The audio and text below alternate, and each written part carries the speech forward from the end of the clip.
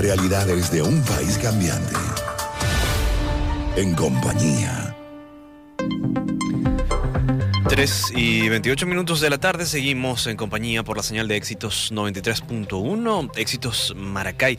Ah, según las proyecciones del Laboratorio Internacional de Migraciones de la Universidad Simón Bolívar, en los últimos dos años más de 700.000 personas se han ido del país para un total de 3.2 millones de ciudadanos venezolanos que están viviendo en el extranjero, mientras que el Observatorio de la Diáspora Venezolana, proyecto de la Universidad Central de Venezuela y que realiza sus estadísticas con base a los datos oficiales de gobierno y organizaciones internacionales estima que el aumento fue de 1.2 millones de expatriados, pasando de 1.6 a 2.8 millones en tan solo 24 meses. Pero para hablar un poco más a profundidad sobre la diáspora venezolana, tenemos en eh, la línea, em, perdón, vía Skype a Tomás Páez, quien es sociólogo eh, de la Universidad Central de Venezuela, coordinador del Observatorio PYME de Venezuela, miembro de la Asociación Iberoamericana de Sociología de las Organizaciones, de la Directiva de Expresión Libre y del Observatorio, del observatorio Haná Arendt. Eh, también es autor del libro La voz de la diáspora venezolana. Mm, buenas tardes, Tomás, ¿cómo está? Buenas tardes, Vladimir, ¿cómo estás? Muy bien, eh, muy agradecido ah, de que nos dedique eh, estos minutos para hablar acerca de este tema tan, tan preocupante y, que vemos em, día a día cómo está afectando tanto la situación nacional como también la situación de, otros países, ¿no? Sí, sí. Eh, bueno, está creciendo y va a seguir creciendo. Va a ser imparable y se va, va a crecer de manera exponencial en la medida en que eh, en el país se mantenga el mismo modelo que destruye empresas e instituciones. Entonces va a ser imparable. Eh, se habla mucho sobre, sobre las características de, la diáspora venezolana. Sin embargo, eh, en los, digamos, en, una primera fase, pues vimos a personas que se fueron tratando de, proteger sus bienes, uh, luego la, clase media, y hoy día está creo que yéndose cualquier persona eh, en búsqueda de una mejor calidad de, vida, ¿no? Y, esto pues significa muchísimo para lo que somos como país, para lo que podemos ser como país, eh, pero también para esos, esas otras naciones a las cuales están llegando los venezolanos.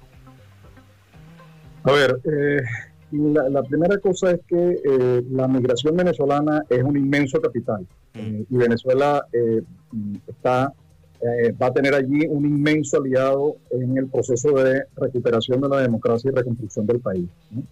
La segunda cosa es que eh, las oleadas yo no las veo de esa manera. Yo, yo creo que la última oleada tiene que ver con, con otra cosa. La, la, sociedad venezolana se ha hecho más, más pobre toda. Eh, yo siempre pongo el ejemplo cuando me preguntan por esta última oleada.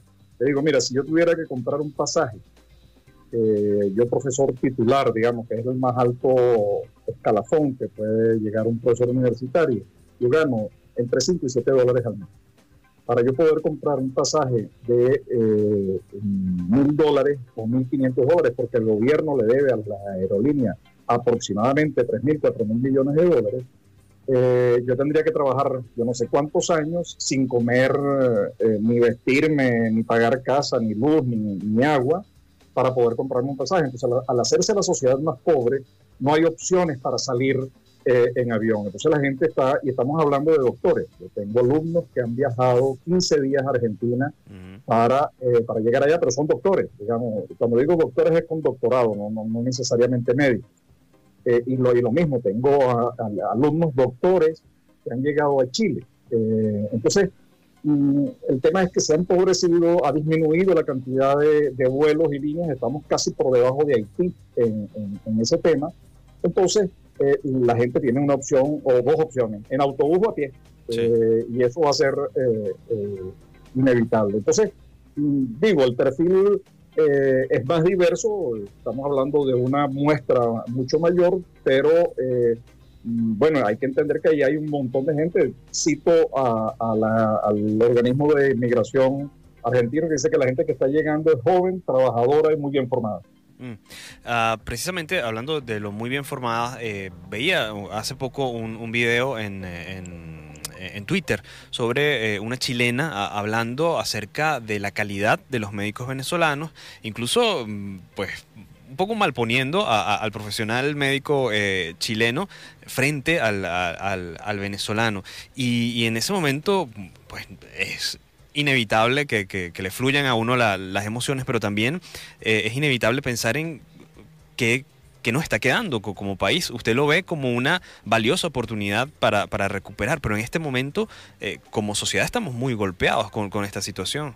Claro, pero, pero velo, digamos, el problema es que hay un modelo que está destruyendo el país. Mm. Hay clínicas ahora que tienen dos, pisos cerrados, que han cerrado camas hospitalarias. Eh, ¿Qué le vas a decir? ¿Qué le vas a decir a, proponer al médico que se queda? Que métete a bachaquero. Claro. Eh, vamos, a cola para revender después, porque, digamos, no hay insumos no hay eh, equipo, no hay aparatos para reparar los equipos, no hay plata. El médico venezolano además es tratado como ciudadano de segunda en su propio país. Mm. El, el médico cubano en ese contrato oneroso que ha sido denunciado por la gente de Aporrea, digamos, no estamos hablando de gente que se le puede acusar eh, de parte del gobierno como enemigos, eh, el contrato más oneroso que ha firmado el país en el ámbito de la salud lo ha hecho con Cuba, denunciado por, por Aporrea. Entonces, eh, el, hecho de que pueda seguir ejerciendo su profesión, pueda seguir desarrollándose, pero además de eso pueda acceder a tecnologías que en el país no podría acceder, porque en este momento el país está eh, eh, mal en el ámbito de la electricidad, lo sabes tú, mal en el ámbito del, agua que llega a Maracay y que, además está generando enfermedades, es razón, es, motivo de generador, es motivo generador de enfermedades. Qué bueno que estos médicos pueden acceder y pueden desarrollar investigación eh, y que conjuntamente con los médicos venezolanos que están eh, que se han quedado en el país peleando, tratando de mantener medicina tropical en la universidad. Ahorita acaban de saltar hace poco la Facultad de Agronomía de la Central. Oye, eh, estás en una situación en, en, la que un gobierno no es capaz de garantizar lo mínimo. Entonces, qué bueno que tenemos gente que sigue ejerciendo, aprendiendo, desarrollándose, porque eso va a ser muy útil para el desarrollo de Venezuela.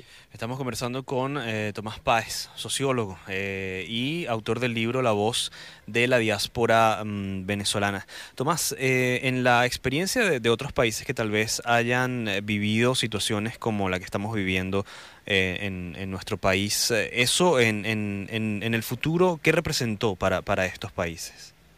Bueno, España es un excelente ejemplo. Eh, pero también es un excelente, eh, un excelente ejemplo Estados Unidos. Eh, en la, digo, en la forma en que se construye un país, Venezuela es el, propio ejemplo. Venezuela se benefició mucho de toda la inmigración que vino, los 300.000 italianos que llegaron en la década del 50, los italianos, colombianos, argentinos, uruguayos, peruanos. La, tú ves en la, en la, Universidad Simón Bolívar, todo el área de matemáticas tuvo mucho que ver con la inmigración uruguaya eh, digamos, que, siempre se beneficia y luego el retorno eh, eh, mm, se traduce, por ejemplo, en todo lo que han hecho los gallegos que han retornado a Galicia, mm. los canarios que han retornado a Canarias o el proceso circulatorio, que es el punto de partida de nuestro, de nuestro proyecto, es que hay una ganancia de capital porque eso va a significar una circulación de capital, de capital humano, del know-how, que es el más importante activo que requiere un país para su desarrollo. Eh, lo que hizo, por ejemplo, el desarrollo de, la, de las tecnologías de información y comunicación en la India fue el hecho de que muchos hindúes eh, o indios llegaron al Silicon Valley a formarse y viven en, en, los dos, en las dos puntas, o los chinos que hicieron lo mismo. Entonces ahí están unos grandes competidores de las grandes empresas de tecnología en Estados Unidos, están en China. Entonces, eh, todos los, los, desarrollos tecnológicos han sido posibles gracias a esa circulación pues siempre, toda inmigración es buena eh, eh, para el país que la recibe, pero también para el país en el que se origina y por supuesto para el propio migrante que toma la decisión. Y se, conocen un poco las tasas de, retorno. ¿Hay, alguna cifra acerca de, esto? Porque mucha gente dice que, van a eh, volver nada, se, van a quedar. Y... No, no, no, no, Nosotros en el estudio, en el libro, preguntamos directamente por eso. Mm. le preguntamos a la, porque nuestro, el proyecto de la diáspora del estudio es un, es un paso importante, pero el proyecto de la diáspora es cómo crear una plataforma y políticas públicas que permitan articular y aprovechar esa inmensa capacidad